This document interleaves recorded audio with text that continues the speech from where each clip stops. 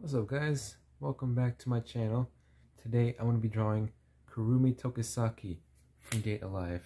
Without any further ado, let's get into this shit.